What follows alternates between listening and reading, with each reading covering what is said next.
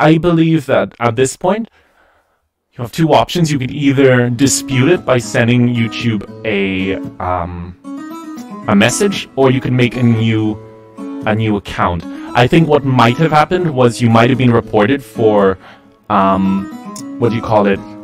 You might have been reported on some streams for uh, what do you call it? Off-topic conversation. Um, and if that's the case, you should be able to dispute it with YouTube.